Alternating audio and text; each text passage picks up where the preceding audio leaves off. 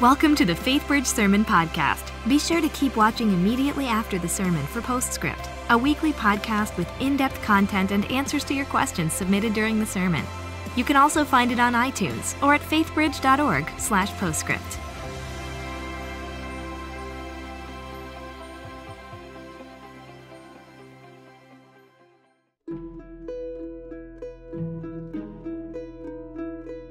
Open Gates is the special needs ministry here at the church. Um, we want to uh, love on kids for for Christ and um, encourage them in their walks with Him. Um, it's important because these families, out of all families, they need to be encouraged and they need to have community. It shouldn't be because of their child's disability, they can't participate in a church. That shouldn't be the case. We should be the place, out of all places, that says, Yes, we want you here. You're welcome here.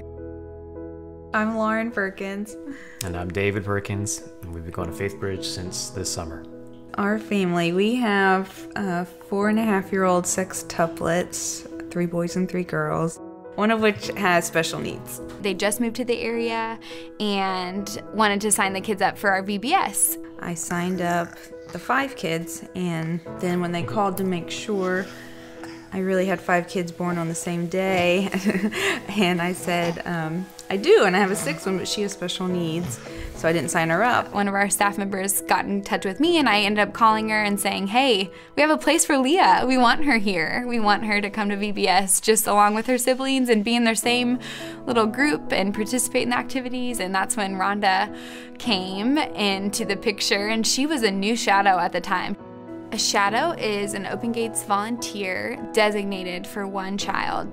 Courtney told me all about her, and she said, I think you're going to be a perfect match. So I was a little nervous, not knowing what to expect. That was my first encounter with the Perkins, and that was when I met Leah, who I shadow every Sunday now, and I fell in love with her the first evening that I met her little Leah has uh, bonded so much with with Rhonda, and um, the whole Perkins family adores her. If anything she knows that's going on with Leah, doctor's appointments or any decisions we're making, she'll text me, just let me know she's been praying for her and what's what's going on. She wants an update. She's not only taken Leah under her wing, it's all the kids. It's all six of them together. She gets them involved in reading stories. If she's reading to Leah, she'll get everybody around her to read with her too. Rhonda is what made us decide to commit to going to Faith Bridge.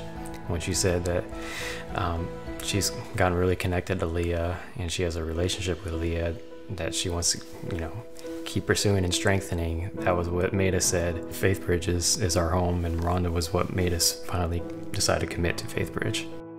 We want parents to be able to go to service worry free. We just want them to be able to focus and be filled. We don't want them to be concerned that their child is being neglected. We want them to know that they are being cared for and they are being loved and they are being included. That is what we're all about inclusion, inclusion, inclusion. And as much as possible, as often as possible, we want them to be included with their with their peers. When we walk in, volunteers and the staff all, you know, say hi to them and know their names and give them hugs. Inclusion is not just a thing that just kids ministry does.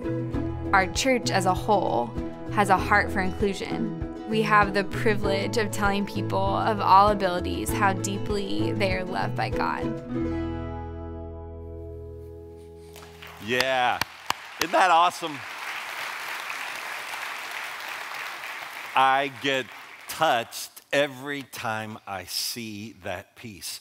And uh, I just love our Open Gates ministry, and I want to invite you to consider being a part of it.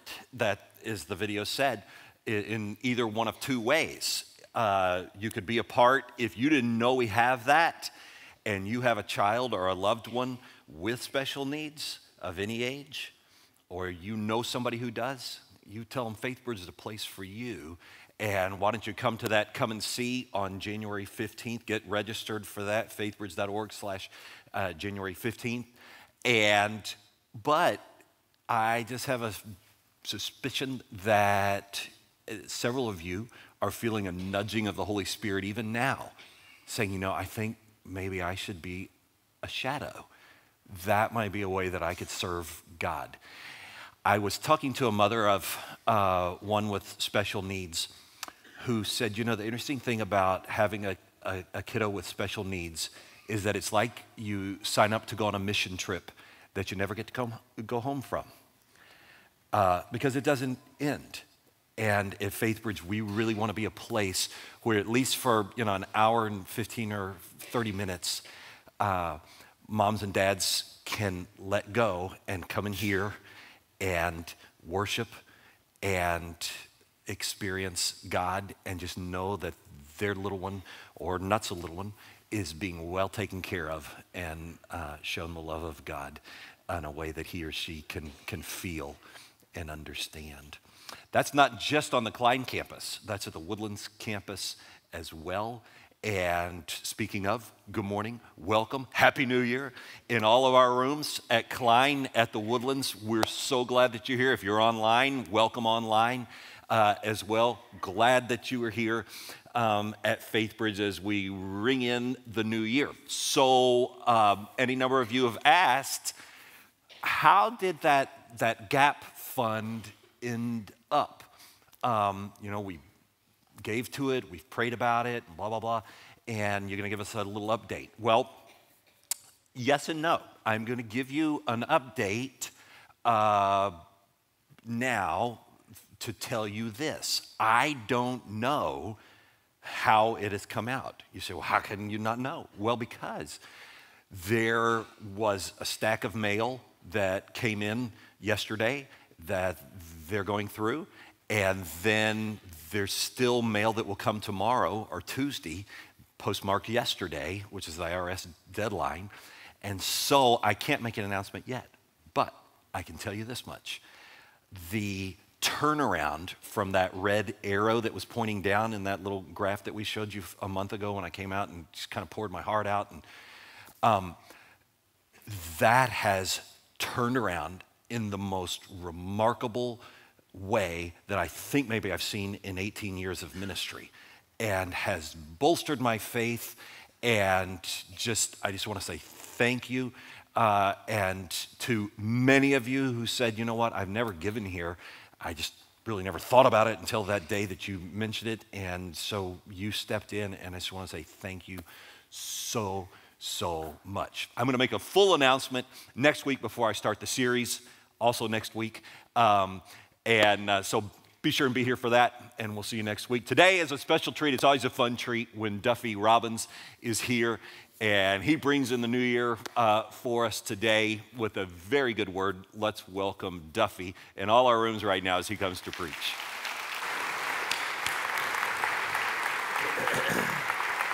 Thank you. Thank you. Hey, good morning. Happy New Year.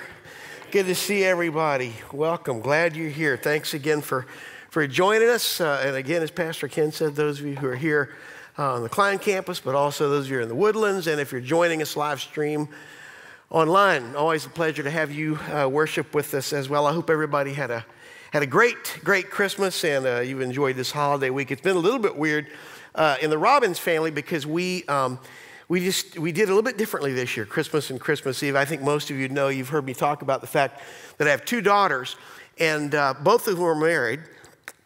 And uh, this year, um, both girls spent Christmas Eve and Christmas with their uh, husbands' families. So uh, so this year, Christmas Eve, Christmas, it was just me and, and Maggie. And, um, and uh, it, it's, me, just out of curiosity, how many of you are actually uh, empty nesters? Let's see a show of hands. Okay, and all right, let me ask you this. How many of you empty nesters were in the empty nest on Christmas Eve and Christmas morning? Let's see. Okay, yeah, yeah, the ones that look relaxed, uh, well rested. Yeah. You know, it's funny, it sounds weird, but um, I think when it really, the strangest part of the whole deal uh, was Christmas Eve night, because we have this tradition in the Robbins family where uh, we've been doing this for years, where we invite our, our girls uh, and their husbands and their children uh, to do this kind of once a year big splurge dinner where we invite everybody to be our guests at Ruth's Chris Steakhouse. And, uh, and yeah, I mean, it's just sick. And, and, uh, and it's been uh, very, very fun, but it's also, uh, it's pretty pricey. Um, anyway, this year it was totally different. And uh, I can still remember Christmas Eve night, uh, Maggie and I just sitting there, the two of us at the table, sort of staring at each other, thinking about how much money we were saving. and, and um, yeah, it really kind of put us in a festive mood for the Christmas Eve service one of the happiest Christmases in years. But uh, no, it, we might actually have a new tradition. But, but uh, if you're visiting with us this morning, uh, here at Faith Bridge, you're a regular part of our uh, family. Uh, we've gathered on this New Year's Day uh, because we want to celebrate the good news that, uh, that the Christ uh, of, the, of the Christmas Day Advent wants also to be the Christ of our everyday New Year adventure. And so we're, we're glad you're here. I think for most of us, um, one of the reasons that New Year's Day is a little bit special is that it sort of offers us a chance to think about, you know, what's coming next? What, what's, what's, what's next? I mean, here we are on the threshold of a new year. Uh, I think it's just natural that we'd sort of wonder about what, you know, what's going to come uh, over the course of the next 365 days of life. You know, will, this, will there be changes at work? Will I, uh, you know, get a new car? Will our, you know, water heater crash? You know, uh, you know, will I lose weight? Will I uh, pass calculus? uh, and, and, how might my social life change if I don't pass calculus? And, and, uh, and uh, will, will, this be the year we get a, a, phone call from Chip and Joanna Gaines in, in wanting to remodel our home? Uh, and, uh, and, and I want us uh, on this New Year's morning to, to read a brief passage from God's Word that points us directly to this question what comes next? So, um, if you have a Bible, I want to invite you to turn to the book of Revelation uh, chapter 4. If you don't have a Bible, put your hand in the air. We'd love to uh, uh, make one available to you, these good folks. And so just put your hand up. The book of Revelation is at the very back of the book, and uh, we're in chapter 4 of the book of Revelation. We're going to begin reading in verse 1. Chapter 4, verse 1, the book of Revelation. After this, I looked, and behold, a door standing open in heaven. And the first voice, which I had heard speaking to me like a trumpet, said, Come up here, and I will show you what must take place after this. At once I was in the Spirit, and behold, a throne stood in heaven with one seated on the throne. And around the throne, on each side of the throne, are four living creatures, full of eyes in front and behind. The first living creature like a lion, the second living creature like an ox, the third living creature with the face of a man, and the fourth living creature like an eagle in flight. And the four living creatures, each of them with six wings, are full of eyes all around and within. And day and night they never cease to say, Holy, holy, holy is the Lord God Almighty, who was and is and is to come. And whenever the living creatures give glory and honor and thanks to him who is seated on the throne, who lives forever and ever, the 24 elders fall down before him who is seated on the throne and worship him who lives forever and ever. They cast their crowns before the throne, saying, Worthy are you, our Lord and God, to receive glory and honor and power for all you created, and by your will they existed and were created. I, I, I uh, suppose that probably all of us in here have had the experience of trying to put into words um, an, an experience that we somehow were not able to capture with just a normal vocabulary. The word just didn't quite cut it. Maybe it was some amazing view, you know, you saw um, on, on vacation or some, you know, spectacular dunk you saw on Sports Center or some stunning jewelry you discovered uh, online, or, or, or, or, maybe it was a particularly difficult calculus test, but uh, you wanted to put it into words, uh, but words just couldn't capture what you wanted to actually express. Um, uh, we had an ex- uh, experience like this back earlier in the year. Maggie and I had dinner at this restaurant, and the waiter came out at the end of the meal said, uh, We've got a special dessert. Our chef wants to have you taste this dessert. And, uh, and he just raved about it. It was going to be really amazing. So he gave us this little kind of bottle of it. And, um, and Maggie didn't want to have any. So I, I took a, a taste of it, and it was just, it was awful, just, just awful. And, uh, and, and so when the waiter left the table, I said to her, This is the worst thing I've ever tasted in my life. And she goes, Well, what, what do you mean? What does it taste like?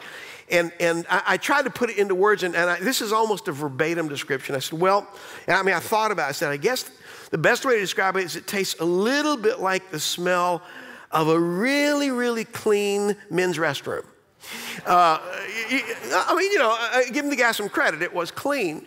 Uh, but uh, you know, kind of a sort of peppermint tidy bowl, and and uh, it just uh, it, words just couldn't do it justice. You know, that that I think is the problem we face when we read these words by John, the son of Zebedee, who is the author of the book of Revelation. Because first of all, we've got all this weird stuff going on, right? I mean, verse six, you've got the four living creatures. That kind of sounds like a rock band.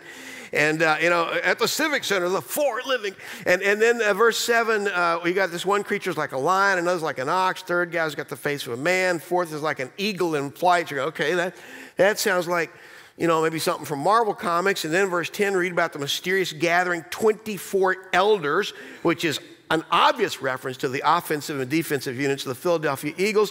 Uh, I, am saying uh, it's especially appropriate that they fell down. But, uh, but uh, I, I, do, I do, I, I, like the way one commentator uh, puts it. Uh, he put it like this He said, In the book of Revelations, God uses the indescribable to point us to the undeniable. God uses the indescribable to point us to the undeniable. It's a reminder, I think, a good one that with this book of Revelation in particular, our goal, our task is not to try to nail down every possible interpretation of the 24 elders or the six winged creatures or the you know seven horned sheep. Our task is to listen to the text to, try to get a sense of what god was saying uh, to those believers for whom it was originally written back in the first century church and then consider what does it say to us on this on this first day of a new year, which is, which is kind of intriguing because if you go back to the first verse of Revelation chapter 4, you'll read that a voice is speaking with the clarity and authority of a trumpet saying, Look at the text, come up here, and I will show you what must take place after this. Come up here and I will show you what must take place after this. Some translations literally render this phrase, I will show you what comes next. And it's in these words this morning that I want us to begin to hear two very basic and undeniable truths um, on the very first day of 2017. The, the first of those truths, the first of those undeniable truths is, is simply this the key to living an abundant life in this coming year, what, what, what Jesus describes in John chapter 10, verse 10, is, a, is living life to the fullest. It's the life for which you and I were created. It's the life that, that every one of us in this room and every person watching online and every person in the woodlands and everybody outside of those spaces, it's what all of us yearn for and desire. The key to living an abundant life in the coming year is not about what, it's about who. It's about who. It's not a question of what's to come, but an undeniable affirmation of the one who came. I think, um, I think most of us would agree this morning that, uh, that this has been an odd year, and that the year to come uh, looks to be equally uh, odd, a year of uncertainty. There, uh, I think most of us would probably agree that the, the Christmas story that we celebrated only a week ago seems kind of uh, undersized and quaint in the face of the questions that, that we confront. Uh, the headlines we've read over the last month and even in the last 24 hours are anything but good tidings of great joy. Uh, less than 400 miles from uh, Jesus' birthplace, uh, the city of Bethlehem, uh, in the town of Aleppo, all of us have been hearing about an ongoing refugee crisis of untold uh, proportions. Um, the, the, the brightness that lights up the Middle Eastern sky is far more likely to be a bomb than a star. I mean, it's just, there's very little peace on earth and goodwill among men. Just, just last week, I, I heard a CNN anchor um, wonder breathlessly uh, if we were on the verge of total collapse. Uh, that, as I recall, it was just before she cut away to a yogurt commercial. But, but I, I think most of us do kind of have this, this, this sense of kind of, of kind of creeping concern. Well, John, when he wrote these words in the book of Revelation, probably sometime around 81 to 96 AD, the questions facing the church were also very, very real.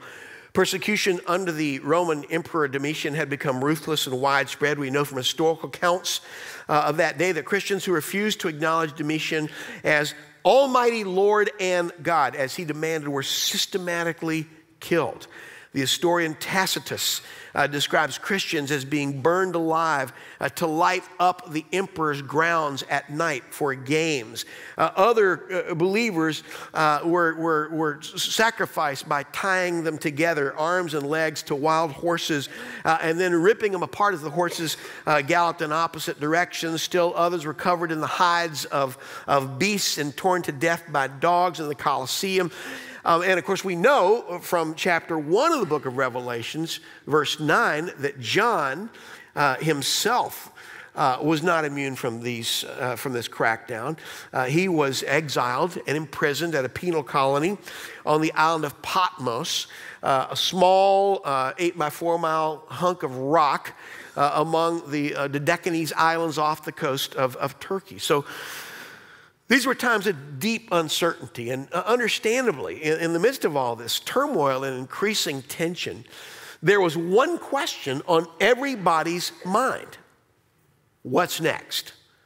What happens now? How, how's this thing going to play out? It's no wonder that uh, the voice calls out to John, verse 1 Come up here, and I will show you. I will show you what must take place after this. But then there's an odd turn in the text.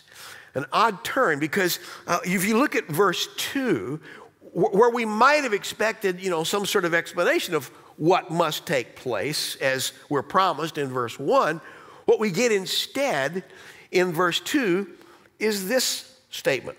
Look at the text, verse 2.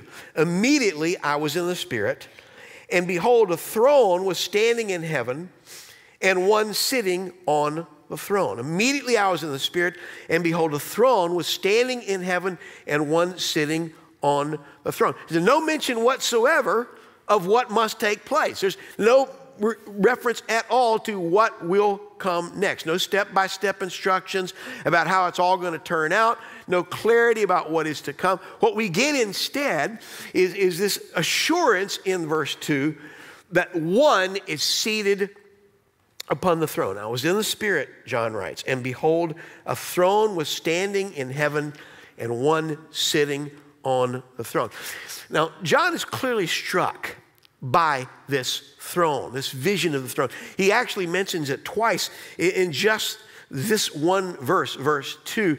Uh, in, fact, if you actually go through the book of Revelation, uh, he actually refers to a throne 47 times.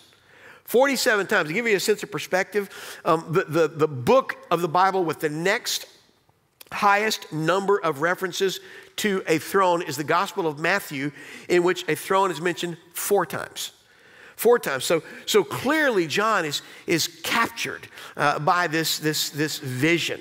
Uh, his imagination uh, is struck by this vision of the throne. And, and reading through the latter part of verse 6 into verse 9 of chapter 4, we begin to see that he's, he's taking great pains to help us understand this is no normal throne, this is the throne of the Lord Himself. Uh, look, look, just, uh, for example, at verse 8. Verse 8. The four living creatures, each of them with six wings, are full of eyes all around and within, and day and night they never cease to say, Holy, holy, holy is the Lord God Almighty, who was and is and is to come. Now let's let's stop there for just a minute and ask this question. Why is this a big deal? Why does this matter to us uh, on New Year's Day 2017? This is a big deal. This is a big deal because John understood the power of this image of the throne. He would have fully recognized that this title, Lord God Almighty, was precisely the title claimed by the Caesars. And, and, and he wouldn't have missed the significance of the one, the one seated on the throne. The clear affirmation that, that God shares his throne and his kingship with no one.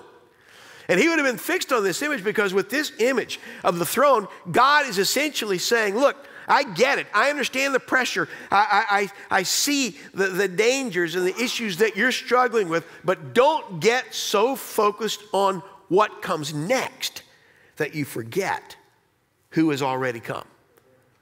Who was, who is, and who is to come. I mean, all of us are curious about what this next year holds. All of us are, are, are, curious about where we will go in the year 2000. We all like to know what's coming up. But Revelation 4 reminds us that the key to facing a new year is not about knowing what's coming up, but about remembering who came down. The, the Lord, who was, who is, and who is to come. Now, what does that mean for you and for me? This morning. I'm a, uh, let's say I'm a, I'm a high school student, I'm a college student, I'm a, I'm a mom, I'm a dad, I'm a grandparent, I'm, I'm a single person living alone. What, what does this have to do with, with me? What does it mean? Well, it means simply this. Your joy and confidence and peace in this new year should not be, must, must not be anchored in what will take place. There, there aren't any guarantees.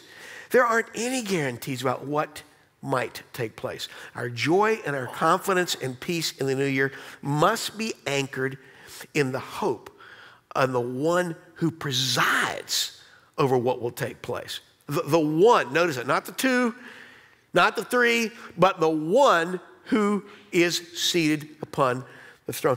I, I, think you would agree. We live in a we live in a world, don't we, that uh, that tells us all our answers can be found in the what questions, right?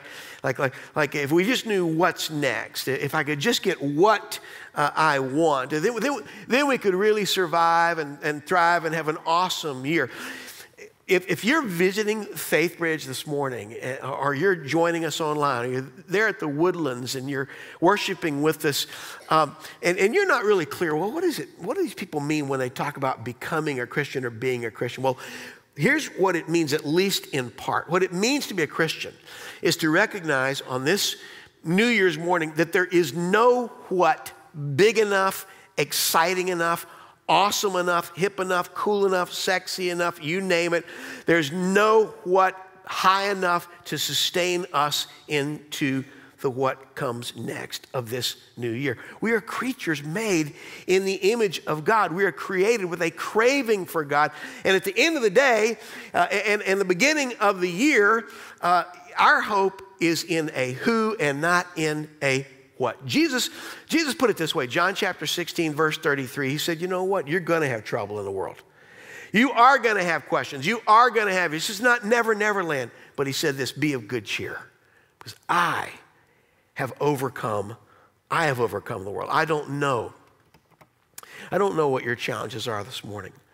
What sort of um, tyrants uh, are demanding your allegiance and, and, stealing your sense of security, whether it's work or finances or, or, or physical problems or family concerns or addictions or, or hassles at school. Here's what I do know the promise of this coming year is not in what will take place, it is in who will preside over what will take place. Now, that, that vision may be indescribable, but that truth is undeniable. But that leads us, that points us to a second truth that I want us to hear this morning uh, on this New Year's Sunday. And, and it's simply this um, the key to living life abundantly in the coming year will ultimately be determined not by how other people respond to us, but by how, how we respond to Jesus. Not by how other people respond to us, by how we respond to Jesus. Um, I hope you'll forgive me if I tell a story that I uh, told here uh, five or six years ago in FaithBridge. Um, back when I was in seminary at Gordon Conwell up in Boston, we were involved in a little Bible study, my wife and myself and another couple, and there are three couples in all. And uh, one of the couples was uh, Mike and Gayle Ford. And what was intriguing about this is that Mike Ford's dad, Gerald, at the time happened to be president of the United States. And, uh, and so uh, when it was finally time for us to graduate, um, the seminary actually invited President Ford to come up and speak at uh, commencement. I, I, guess like my dad was busy, and and uh, and, and, so uh, anyway, they uh, they they this is going to be great. Uh, President and Mrs. Ford are going to come up on Air Force One. Well, Mike thought it would be really cool if uh, if the president, uh, if his dad got a chance to meet some of his buddies, and so he said to me one day, he said he said Duffy, when my dad comes up for commencement, we were thinking while he's here we could have a little picnic. and we'd love to have you guys come. Is that something you, you know you, you and Maggie would be interested in? And I'm going, you know, are you kidding? I mean, what an opportunity this would be for the president. And, and so I said, uh, I said, we definitely want to do that. And, and so uh, we said, okay. And so we set the, you know, plans and everything. But there was a little bit of discussion um, among my friends about, well, okay, that's great. But what do you say when you meet the president? Like, what's the right protocol? You know, because somehow you're just like, dude, you know, doesn't, uh, doesn't work. And if you do a chest bump, you might get shot. And so, and, and so, uh, we sort of thought about that a little bit. Well, anyway, the big day came. And, um, and, and this is true story. The, the picnic was actually at the home of General George Patton. Now, he was dead. He didn't know we were there. But, uh, but uh, it was actually at the Patton's house. And, and so we're just having, I mean, if you just kind of walked in and looked at it from a distance, just looked like a normal picnic, right? Just hot dogs and hamburgers and lemonade and, and guys uh, with machine guns. And, and I remember kind of waiting for just the right moment, you know, to, to, to greet the president. And I had a little something prepared. Uh, but everything just, just went, just, just fell apart because what happened was I'd gone back inside the Patton's house to get my wife and my own glass of lemonade refilled. And as I come back out the screen porch, who should open the screen door but Gerald Ford, President of the United States? And this is not what I've planned. And I've got lemonade in both hands, and I can't, you know, toss it. And, hey, you know, and, and, and, could you hold that lemonade, Mr. President? Oh, sorry about that stain, sir. You know, and, uh, and so what I did was, under pressure, I choked. I just choked. I actually did a curtsy.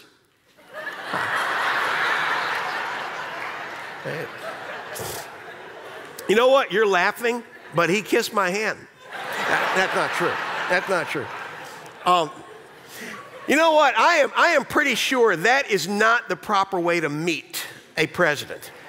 That is probably not the proper way to greet a president. But, but, but what I want us to understand is there's a scene here in the throne room of Revelation chapter 4 where we're given a picture of the perfect way to greet and respond to the Lord God Almighty. Let's look at verse 9.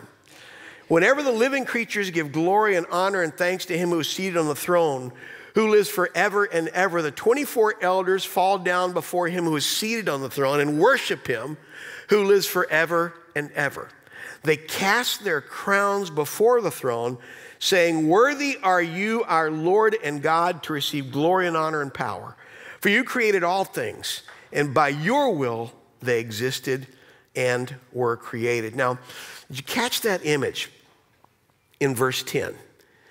24 elders fell down before the throne of God. Now, uh, first of all, who are these, who are these 24 elders?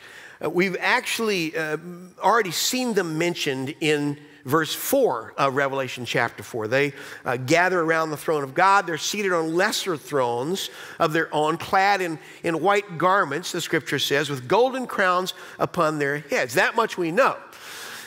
Uh, but that, there's a lot that we still don't know. And, and, and one of the observations you begin to make as you study the book of Revelations and as you begin to read the commentaries is, um, is there's sort of this sport where people love to kind of come up with fantastic theories about, about what this symbolizes and who this uh, represents. I, I, um, I, I, think there's kind of this default temptation to try to nail everything down really tight. I came across one commentary um, where the, the scholar tried to sort of uh, identify the 144,000 faithful uh, that are mentioned in Revelation chapter 7. Uh, verse 4, as uh, a symbol for the whole church of, of Christ. And, and the way he arrived at this interpretation is that uh, according to Scripture, he said, three is God's number, right? Trinity. Uh, four stands for creation. And, and so if you do three times four, that equals 12, which equals the whole church. And since 10 means completeness, then 10 cubed means three dimensional completeness. And obviously, 12 squared times 10 cubed equals 144,000, which equals the church in all its. Now, please forgive me, I don't want to be cynical, but to me, this sounds like a, a guy that flunked calculus. But, but uh, the, in, is, in fact, the number 24 um, is, is mentioned really only here in the book of Revelation, and it's not generally recognized as, as a number of particular uh, significance. But the number 12, the number 12 is a little different because when you hear the number 12, uh, well, let me just ask you when you think of the Old Testament and you hear the number 12, what do you think of? Right, the 12 tribes of Israel. When you think of the New Testament, you think of the number 12, what do you think of? The 12 disciples. So, so, so commentators have, have begun to wonder if maybe that's what this is a symbol, this points us to, is, is the saints of God in the Old Testament and the New Testament. Saints who are cleansed, hence the, the white robes, uh, and, and who are crowned. They are priests. We're a kingdom of priests, and they're worshiping at the feet of the Lord. I don't know for sure, but here's what I do know. Here's what's very clear. Whoever they are, and this is, this is what we must not miss. Here's the undeniable truth. Whoever they are, their response to the Lord is spot on.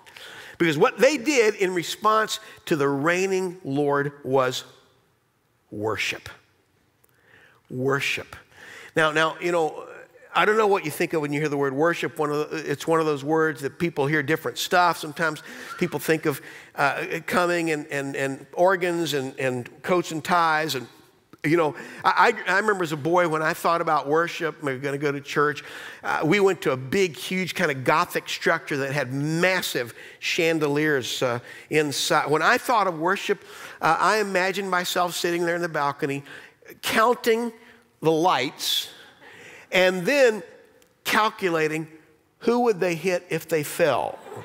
Uh, and, and then uh, me and my brother would sort of test the power of prayer. You know, uh, bombs away on the middle. And, uh, and, uh, and that's kind of what I thought of. And, and, and, and maybe if you're sort of uh, joining us by live stream or you're visiting here this morning, this is kind of a new deal going to church. That's what you think of. The church is kind of like, you know, jury duty, but not as fun uh, it, it, it, just sort of has this bad, bad vibe.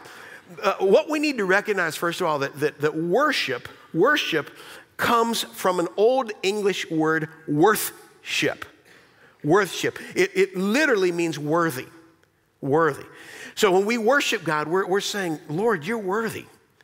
You're worthy of our time. You're worthy uh, of our, our song. You're worthy of our praise. You're, you're worthy of our gifts, our attention. But most of all, when we talk about worship, when we talk about, Lord, you are worthy, Paul reminds us, the Apostle Paul in Romans chapter 12, that we're talking about giving ourselves to God as a living sacrifice. Everything I am, everything I have, Lord, it's yours because you are worthy. There's no better image of worship than the one we see right here in verse 10. The 24 elders fall down before the Lord who is seated on the throne, and they cast their crowns before him. It is a great image because these 24 elders, first of all, they fell down before God. And, and, and, and, and talk about an undeniable truth. You, it's really, really hard to worship God when you are still on your own throne. You cannot fall down unless you leave your throne. You see, worship is about falling before God in surrender, giving all claims to ourselves uh, to Him, giving up all our own little kingdom schemes. It's about casting our crown before Him. My tendency as a sinner is to be king in my own little kingdom, but I cast my crown before the one who is seated on the throne. That's the kind of passion that ignites the fire in verse 11 when the elders sing, Worthy are you our Lord and God, to receive glory and honor and power, for you created all things, and by your will they will exist and were created. Now, you might be thinking, well, Duffy, That sounds kind of exhilarating, but, but uh, can't I just enjoy the music and the ritual and the community without, you know, having to cast my crown before him? Yeah, you, you can. You can. Just like you can eat Chinese food with one chopstick uh, and, and, play piano with your mittens uh, on and, and uh, you know, skateboard without wheels. You, you can do that. But singing without the surrender, is, is dead. It's, it's empty. It's lifeless. In fact, I'm just going to ask you this morning. Uh, if uh, this very first day of 2017, it's a good question to consider. Have you left your throne? Have you left your throne to fall before the one who is the Lord God Almighty? Have you cast your crown at his feet? Said, Lord, you're, you're worthy. You're worthy of my attention. You're worthy of my career decisions. You're worthy of my friendship choices. You're worthy uh, of my entertainment options. And, and, and here's why I ask. You see, John fully understood that he was sharing this vision in the book of Revelation with people who were under intense pressure to cave into the culture around them, to, you know, moderate a bit, to maybe just uh, give a little nod to the emperor, to recognize that times were changing and that the culture could be very, very unkind to those who wound up on the wrong side of history. And it's a pressure that every single one of us faces every day. And the key to living abundant life in this coming year is ultimately going to be determined not by other people's response to us, but by our individual willingness to respond to Jesus by falling before him. John reminds us in Revelation chapter 4 that what comes before, what comes next, is falling before the Lord in worship and surrender. I don't know what your story is this first morning of New Year's Day, but here's what I do know that we face a lot of questions, a lot of difficulties, lots of issues, some possible opposition, and also some grand adventures. But at the heart of it is a who who is seated on the throne, one who is the Lord God Almighty. And the most powerful prayer, the most amazing resolution, revolution, the most unbelievable prayer we could pray this day would be the prayer that those elders prayed at the very, very end of this chapter when they said, Holy, holy, holy are you, Lord God Almighty. I yield my throne to you. I cast my crown before you at your feet. I worship you because you are worthy, my Lord, my God, to receive glory and honor and power and me. Let's pray.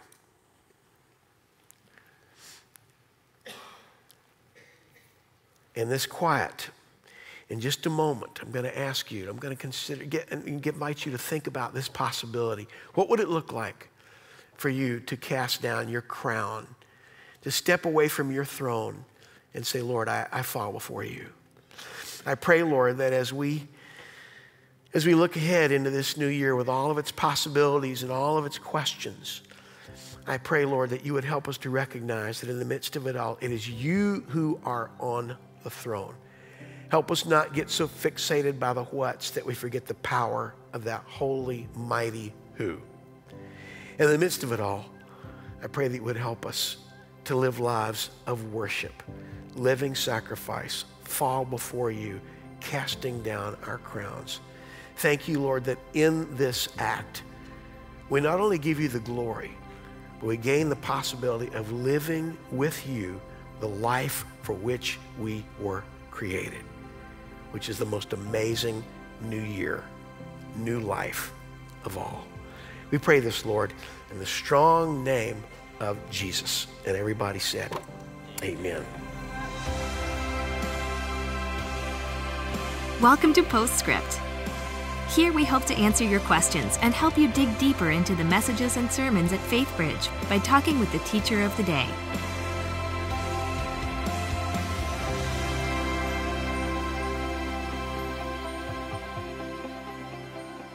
Welcome to Postscript. My name is Michael Sullivan, Business Administrator here at Faithbridge, and I'm joined by Duffy Robbins, who just brought us the first sermon of 2017. Uh, and it was a great one. Thank Thanks, you, sir. Appreciate that. Uh, you gave us really two points to look at as we kind of think about what's next, uh, which is really on everybody's mind rolling Yeah, into yeah, a new of year. New school year, new, I mean, new uh, year. Yeah, absolutely. Yeah, and so the first thing you talked to us about is it's not necessarily about the what, it's about the who. Yeah. Uh, and that is important, but I was sitting thinking, you know, there's probably a lot of people out there who their what just feels so big right now. Uh, could be um, with the new president coming in and just uncertainty there, just uncertainty in the world, as you pointed out, uh, in Aleppo. Um, there's uncertainty maybe with a job or with their family. So when these what's feel so big, how do you then practically get your attention focused on the who? Yeah, great question. Totally legit question. Um, and and you know, to be fair, uh, I think first of all, we got to recognize that the people to whom this vision was given, um, their what was was pretty darn heavy as well. I mean, they were, as I said this morning, I mean, they were facing unbelievable uh, persecution, and uh, and so for them to just, it, it, you, one has to be really careful about just being really flippant, guys. Not about what you know. It, that I think all of us understand at one level that's true, mm-hmm. but right now, you know, my wife has cancer. Right mm-hmm. now, I can't find a job. Right now, my my son is just going crazy, and mm-hmm. those whats seem really, really big. And I don't think there's anything in Scripture that suggests that God doesn't want us to take seriously those whats. In other words, we're not we're not living in Never Never Land. We have to pay attention to those issues. But uh, but just to but so but part of it is saying let's remember th- that the key in all this, and this is where these guys. Uh, John was, I think, trying to kind of encourage them is remember, there's one who's on the throne, and it's not a Caesar, it's not Domitian, and uh, and that that's where I have to trust. For example, Jeremiah 29, God says, "I know the plans I have for you," and and the goodness of God, because uh, otherwise it it will just drive us crazy. Now, in practical terms, how do I deal with that? I think, uh, first of all, recognize the power and the legitimacy of lament. In in the Psalms, uh, we have Psalms of lament. We have in the book of in the Bible a book of Lamentations, where uh, you know the people of God are lamenting the situation in which they find themselves, and so uh, there's nothing unspiritual or unfaithful or bad about lament. Um, even in uh, even in Jesus' own life, we see lament reflected uh, on the cross when he, you know, uh, cited these words from Psalm 22, "My God, my God, why hast thou forsaken me?" So that's the first thing, because I, and I mention that because some people go, "Oh, well, you just, you know, you're fixated on the what; it's about the who," and and we can we can really hurt our brothers and sisters in Christ by sort of diminishing their struggle, diminishing their what, by saying, "Well, come on, snap out of it," you know, focus on the who. Secondly, I think uh, as in term, uh, in addition to lament and, and practicing lament, um, community is is critical. Uh, when when we feel that we are carrying huge burdens, uh, we do what we do anytime we're trying to carry something that's heavy and too big and too cumbersome. We say, "Hey, can you guys help me with this?" And uh, the problem is, you know, we tend to go the other direction. We sort of shrink. We sort of get into our hole. We want to kind of, no, I'll, I'll, I'll when I get better, then I'll kind of get out there. That's one of the, the essential and wonderful ministries of a church, is that this is a place where we can bear one another's burdens. We can hurt together. Uh, to use Paul's, you know, metaphor of the body, uh, if one part of the body hurts, we all suffer. Um, and so I think that's another thing is to make sure, just on practical terms, that we are involved. Doesn't have to be everybody. You don't have to stand up and share this on Sunday morning, but there needs to be a, a group, a community of people that can help you carry that load. You wouldn't try to walk around and carry a piano by yourself. it- you can't carry some of these whats by yourself. They're too big, too cumbersome uh, to do that on your own. And then I think thirdly is, and I'll and I'll just do this. There is comes out of James first chapter is that what God seems to say to us in the midst of our whats and our trials is that um, that they can be used as a way of bringing us to our knees or to our feet, as they were in Revelation chapter 4 Um, that we come, we actually ask God to use them uh, as a, a way to deepen, to excavate places in our heart that have not yet been given to Him because we didn't need Him. You know, Yeah. uh, C.S. Lewis in The Problem of Pain talks about this, this whole idea that there's something about trial that deepens us. I'll, I will, um, I'll recommend a book, um, and it's interesting because it's a book that talks about uh, kingship, and that's one of the main themes in Revelation 4. It's a book by a guy named uh, Gene Edwards, G E N E, Edwards, called The Tale of Three Kings. And uh, it's a study, the subtitle is A Study in Brokenness. And, uh, and I would recommend to, uh, to people, I do recommend to people who are going through, uh, you know, hard, hard whats, I'd say. It's a, it's a very small book, it's a short little book too. Um, but uh, it, it's a study of the life of David and, and uh, you know, his situation of trying to live between Absalom and Saul. Uh, some of the people you're talking about with hard whats, they have either uh, a Saul for whom they're working or an Absalom with whom they're loving and living, and uh, and those are some of the most painful whats of all. So I would I would recommend uh, that that might be uh, sort of a way a, a tool that God could use to deepen our longing for Him, our, our sensitize our need for Him. That's that's the third way. Say God deepen in me. Saint John of the Cross, his book Dark Night of the Soul, um, is sort of a meditation on that, and and uh, I think I think that's that's the third way that God can use those whats. We can use those whats practically. Uh, what do we do with them? We don't we don't just stuff them and say, oh no. If you really are focused on who you want to ask that, mm-hmm. no, you will ask that. Mm-hmm. You should ask that. God's not afraid of that. In James, you know, he says, if any of you lacks wisdom, ask God, mm-hmm. but without doubting, because the person that doubts is like a, a double-minded person, they unstable in all their ways. But uh, so I think that's that's kind of what we're to do with those whats. Yeah, I think that's really helpful because I think sometimes the natural inclination is to just try and brush past it. I don't need to, to sit in this. I'm just gonna, you know, muscle up and do this myself. And well, there, like you said, there is a time and a season for everything. There is a time to lament, and then to really have people around you who can help. Uh, and then, like you said, just pressing into the Lord and trusting that He's going to use this season for His good and His glory. Yeah. Uh, I think that's really good. Well, the second part of your sermon, you really talked about uh, in this season, it's not necessarily about how you respond to others, but it's about how you respond to Jesus. And you were kind of talking about, hey, in this time that John was writing, it was a, it was a difficult season for them, and there was some persecution going on, and and many Christians today would probably say, hey, that's how I'm feeling right now. Uh, you know, I am a social outcast at school or at work because of the beliefs that I have. Uh, they're viewed as old school or that's, you know, dumb or you're weak or, or whatever the case. And, and sometimes that costs you maybe a promotion or uh, it costs you fitting in or, or whatever the case may be. But there's probably some people who feel this tension right now, and it's even greater, obviously, in, in other countries, but Yeah. even in the U.S. and our culture as well. So maybe can you speak to that? How do how do you how do you deal with this uh, tough culture right now? Yeah, I think you're absolutely right, and this is that's precisely why I wanted to sort of raise that point that. Um, and I don't mean necessarily how we respond to others. What I'm saying is how do others respond to us is not as important as how we respond to Jesus. How we respond to others is critically important. Sure. But but a lot of times um, we excuse that. We excuse our response. We excuse our behavior because we say, "Well, look at the way these guys are treating me. Look at what they're doing."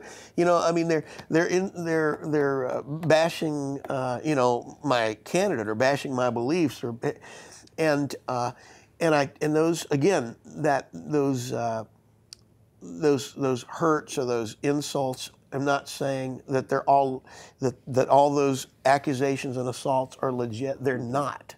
A lot of them. What I'm saying at the end of the day, it's not how they respond to us. It's it's going to be how we respond to Jesus in the midst of that stuff. Uh, it, ultimately, he's the one on the throne, and it is to him to whom we must give account. Um, but I think so. Practically speaking, if I I mean, and I feel that way as much as the next guy, you know. I think uh, the first thing I have to do, just practically speaking, s- be very, very cautious about social media. Now, I'm, I'm talking to myself here, but I know I have a, my default uh, in, i instinct is I, I've, I've gotten better about uh, curbing it, but my default instinct, as soon as I see something on Twitter or you know Facebook, or- is I want to put some sort of snarky comment on there, and uh, and this just happened this week where a guy, you know. Uh, criticized something, and I and I wanted so badly to, to, to say something, but but I didn't. It wouldn't really have been engagement. It would really have been just kind of, uh, you know, striking back. It's not like, hey, let's try to let's try to reconcile. It's more like I want to I want to just make this guy look stupid. Yeah, One up them. Yeah, and, and, and so that would be the, just from a practical standpoint. And, and for some of you, that might, you know what? Get rid of your Twitter account. Get rid of your, you know, Yeah. don't ever try to embrace discussion on Facebook. It's not a forum that really is suited to that. Mm-hmm. It's a forum that's suited to snarky comments. Mm-hmm. And, and so, and this is where I think Christians have really hurt ourselves. We don't have to respond to every single uh, time we feel, you know, slighted and, and shoved. Um, you know, you th- again, we go think about Jesus, you know, who was like a lamb led to the slaughter, and though reviled, he reviled not. And I think as hard as that is, and it's hard, that's the model, you know, for us. So I think that's that's one thing is to is to really do an inventory, a stupidity inventory of your social media, uh, you know, relationships and interactions. Uh, I think secondly is uh, you know try to make uh, as a rule try to make it more a question of uh, of of gesture than posture. Uh, Andy Crouch, uh, who is uh, the author of a number, two or three really awesome books. The first one uh, was Culture Making by University Press. Um, but Andy makes the point that uh, we've sort of confused in the evangelical community the difference between gestures and postures.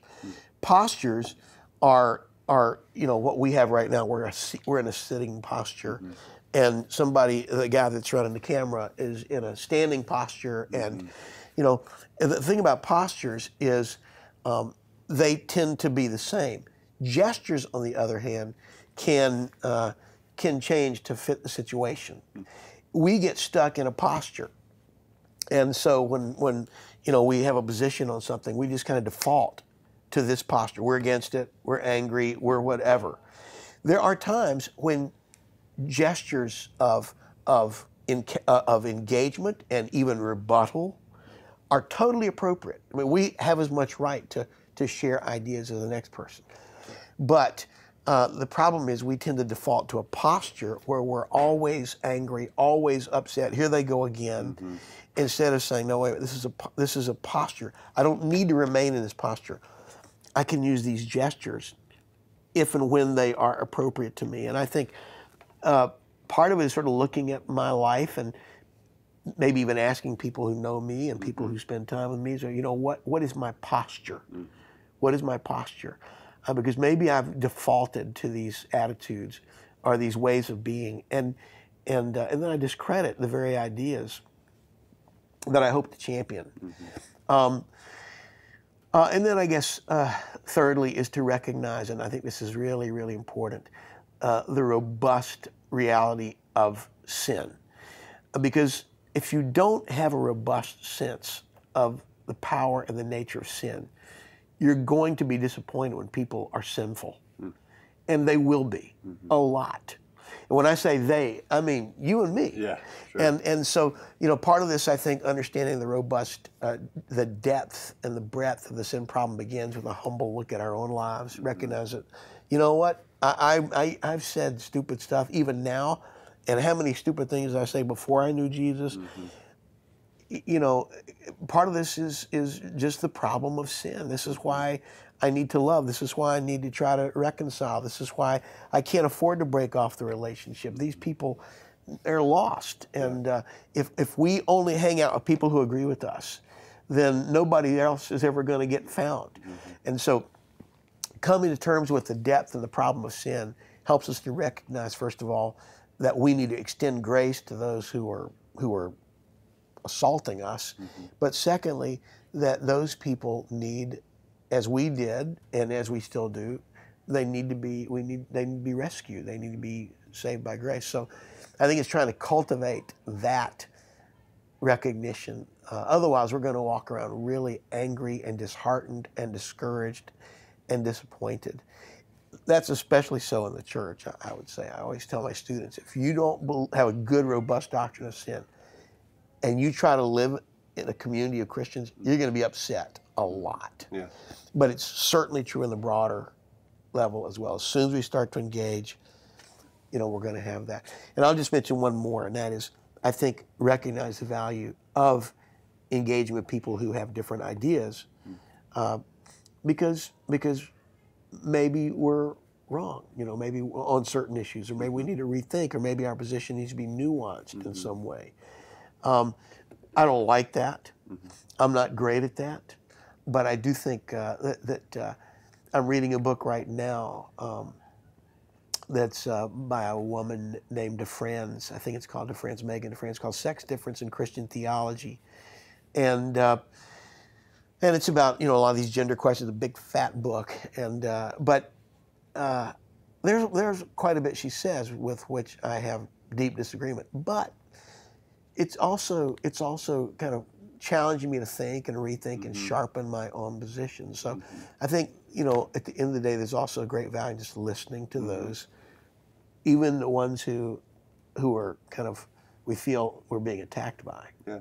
Because I think, you know, you were talking about social media, and I think a lot of times when we're on social media, the reason we have a posture and not a gesture is because Yeah. you don't see that it's a real person with real Right, that's feelings, right? that's And it. so sometimes.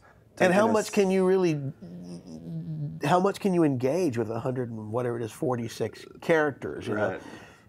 Or, or just on Facebook, it's just you just it's not you know, it's not really a forum for engagement. We've we've kind of we sort of let the forum shape our engagement mm-hmm. instead of saying, no, wait a minute, you know, this is not this is not the way people have engaged in generations before. Mm-hmm. It's a new ball game. Well, thank you, Duffy, for being here today. Thank you for helping us look into 2017, and thank you for joining us on Postscript. We'll be back next week as we kick off our Resolve for More series. We'll see you next week. Thanks for joining us for Postscript. Help us keep the podcast interactive by submitting your questions during the morning services. Learn more at faithbridge.org/postscript.